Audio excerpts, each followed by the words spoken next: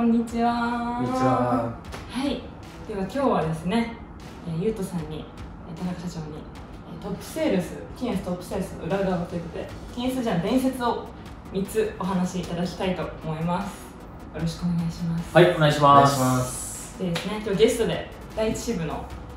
トップセールス、しょうまくんに来てもらってます。よろしくお願いします。お願いします。私たちインターン生も意外と知らないね、うんお話が3個なので、どんな話なのか楽しみなんです気になりますね。ね。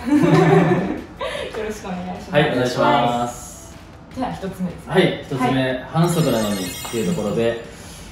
えーっと、僕、期限入って、営業採用なんですけど、えー本社行きまして、で、実際やってた仕事が、まあ、その反則、販売促進グループっていうところで仕事してました。入社していきなり反則だったんですか？そうです。営業のスタートじゃないんですか？営業じゃないです。本社行きました。え。まあこの話はね、あの別に多分反則に行く人とか本社行く人ってまあ僕だけじゃなくているんですけど伝えたいのはそこじゃなくて、えっと、反則から営業に行く時のストーリーなんですね。キーエンスで本社でどういう仕組みで動いているのかキーエンスという会社でどういうふうに動いているのかってところを学びたかったのともう一つは営業がどういう営業してるのか知りたくてキーエンスに入ったんですけどまあ幸いに本社に行けたのである程度キーエンスの中身っていうのはまあ分かってきたなってところで、もう2年目からね、キーエンスの営業に行きたかったんですけど、ずっと営業希望を出してたんですけど、なかなか行けなくて、でずっと言われてたのが、まあ、こうダメですと、うん、まだまだ本社やる仕事があるから行けないっていうふうに言われてたんですけど、もう何回も何回も依頼してるとね、言われたのが、キーエンスのリストを一切使わずに、1件1ヶ月以内に売れたら、営業行っていいよっていうふうに言われたんですね。そのキーエンスのこのリストって何かっていうと、キーエンス、まあ、僕が当時いた時で大体歴史としては4 5 0年の会社で、もう歴代の先輩とかがバーッとアタックしていったこうアタックリストっていうのがあるんですよ。でそのアタックリストっていうのは全部こうまとめられてます。で逆に言うとその過去当たってる会社っていうのはいろんな戦略いろんな分析をもとにこの会社売れるだろうってかなり角角度が高い精度が高い状態でまとめられてるリストなんでもちろん売りやすいリストなんですよ、そこに一切手をつけずに3件売ってこいあ1件売ってこいと言われたんですね。まあ無理ちゃうかと思ったんですけど 無理ただやらないともう営業いけなかったんで、うん。必死にリストバーッと作っていったんですよ。で結論から言うと1ヶ月で3件売れました。えー、すごい。でこれなんで売れたかどうやって売ったかっていうと、うん。まずそのじゃあリストっすよね。作るところから始まるんですけどそうそうそう。幸いにね僕その反則で仕事してたんで、キーエンスの現場の営業が今どういう地区でめちゃくちゃ売れてる。でその地区にはどういう業界が多い。でその業界はなぜ伸びてるのかなぜお金があるのかっていうのをめちゃくちゃ分析してるこう事業部だったんで、そもそもかなり角度高いデータを出しやすかったんですね、うん、やってた仕事上じゃあどういう業界が伸びてるとかどういうまあなんだろうこう仕事してるところにお金が集まってるってのは分かったんですけどさらにもっと具体でいくとリストをどう作るかってところなんですけどもうキーエンスのリストは使えないわけですよ。ってことは無名な会社に行くしかないんですよ。例えばトヨタなんかもうめちゃくちゃ行ってるわけですよ。お金もあるし忙しいし。めっちゃ売れてるんですけどさすがにそこは何ぼ調べても出てこないんでいわゆる全く無名のリスト無名の会社さんをどう探してくるかところで僕が取った手段がタウンページ。えー、あのものづくりなんでめちゃくちゃものづくりしてる会社なんかあるんですよ。でそこからタウンページでバーッとリストを探してきて電話番号載ってないところは諦めるんじゃなくて住所情報から Google マップ見たりとかインターネットで調べてリストをバッと500社ぐらい作ってもう1個にバーッとかけていって結果的には4あの3件か売れたっていう話ですね。うんでそれでも営業行くこと認められて、まあ、営業行きましたって話ですね。えまあこう伝えたいこととしては この話でねリストがないから諦めるとかじゃなくてあの考えればいくらでもリストなんか作れるし売れる手段とか売り方なんかなんぼでも作れると思うんですよ。それを本当にそこまで努力してやることの大事さっていうのは僕はすごい学んだなと思いますねうん。これで。って話かな。はい、うん。ありがとうございます。では、このトップセールスの裏側とはいトップセールスの裏側。はい。これは僕が実際キーエンスの営業に行ってからの話で、えっと、キーエンスの営業に行ってから僕1位になったのが営業に配属されたのが3年目なんですけど3年目の下半期でキーエンスのまあ営業って上半期と下半期があってその下半期で、まあ、事業部の過去最高台数売上最高記録っていうのを作ったんですね、で、えっと、なぜそれが出せたのかっていうふうに言うとめっちゃ努力しましたっていうまず話なんですよ。ただこの努力ってどういうことかっていうと普通の人がおけおそらく諦めるだろうとか考えないスピードで仕事のアウトプットをしてたってところがすごい重要で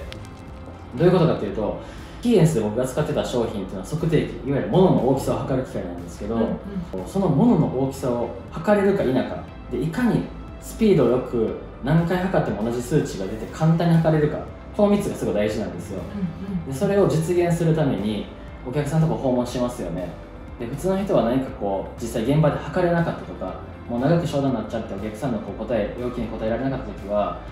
ワークって言って制作物を扱うんですよ。うん。だから金属のなんかとかねいろいろ持ち帰るんですよ。で持ち帰って実際本社とか営業所でこうバーッと調べたりとかしてみて測れるか測れないかうん。プログラムを作れるか否かってところをやるんですけど、うん大体それって営業所戻ってきて土日とかで作業して翌週アウトプットするっていうのが普通のスピード感なんですけど、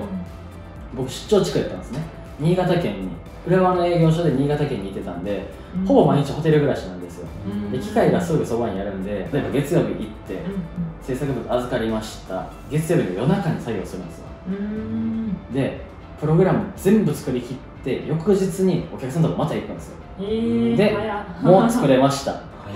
で見てください。何回測っても同じ数値出ます。えーこれぐらい簡単にスピード速く僕昨日来たじゃないですか。うん。それがもう今日こうやってできてるんですうん。めちゃくちゃ速くて簡単で精度高くないですか。うんこれ社長のとこだったらどういう風な生産性になりますかって話をしていくと確かに昨日の今日ですごいねこれはってなる話なんですよ。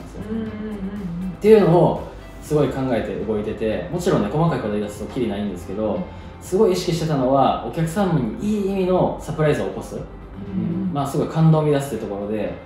えマジで昨日の今日でもうこんなデータできるの？みたいな。ところ、うん。それをすごい意識した結果人よりも早く要は受注するか否か要は白黒つくわけなんで人よりも多く商談機会が増えていくわけですよ、うん。その結果振り返った時に人よりも多く台数打ってて記録が出たってだけなんでうん。仕事のアウトプットするスピードと精度っていうのはうん。めちゃくちゃ大事だなと思うし、うん。これこそが営業やし結果的になぜそれをする必要があるかっていうと感動を生み出せるからなんですそれが本当にあの、まあ、キーエンスのみならずトップセールスになる人の共通点かなと思いますね、ゆうとさんの機械を扱ってたんですね。毎日ね3時までやってました。ホテルで風呂入ってご飯食べてそっからポチポチポチって。めちゃくちゃ努力してトップセールスを取ったそうですね仕事しましたね、えー。レジからレジからね。行ってるのかと思ってました。レジからだけではない。レジからだけだったら僕よりすごく言ってるから、三つ目は、うん、は、はい、これはなんか僕がすごいとかっていう話じゃなくて、うん、実際キエンス辞めるって言ったのは4年目かな？4年目の6月ぐらいだったんですけど、もうリミットとしては6月末に辞めたい、要は1か月以内ぐらいにも辞めたいですっていうふうに上司に伝えた時に、まあ、いろんな方がこう引き止めてくれたりとか、うん、なんだろうキエンスでもっと頑張れへんかってこう、ね、言ってもらえる先輩たくさんいたんですけどすごいびっくりしたのがね6月の17日ぐらいだったかな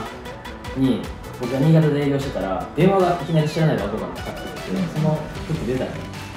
僕の当時いた計測機器事業部の、まあ、部席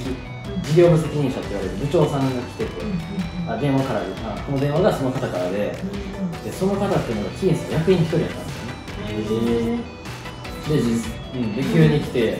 まあ、今日一日あの新潟で同行しますって言ってくれて、まあもちろんね多分理由は引き止めだろうなと思って引き止めで来るんだろうなと思って実際にまあね一緒にこう営業してたんですけどもちろんこう同行中とか車の中とかでなんでキーエンス辞めるのとか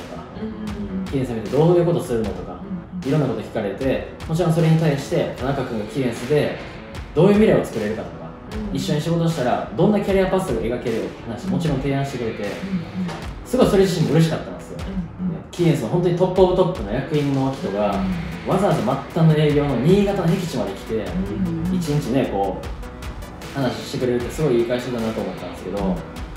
かつすごい良かったのがねもしこれが独立する中で、まあ、辛いこととか大変なことたくさんあると思うけど、まあ厳しかったら戻ってこいって言ってくれたんですよ。すごいそれを言ってくれた時にもう心が熱くてめっちゃええ会社やなってっていうのがねこの退職時に起きた、まあ、伝説というかキーエンス辞める人多分たくさんいるんですけどあまりこんな話してないかなと思って、すごいね、うん、いい、まあなんだろう、会社やなって改めて思いましたうん。なんなら戻ろうかな。っ 戻らないでください。戻らないでください。それは困るて話ですね。はい、ありがとうござい。どうでした？トップセールスと同じトップセールスとして。はい、やっぱりゆうとさんをこの目力で営業してきたのかと思ったら 惜しみない努力。あ、でしたね。よかった、ったんだな身近な以外はい、で。よはい、かった。すごいなと思いました。よかったですやめるときは、は。いやめてください。ショーもやめるときはもう全力で引きお願い。しますはい、ではですね、この三つ本日はお聞きしました。ありがとうございました。はい。ありがとうございますありがとうございました。はい。ありがとうございました。はい。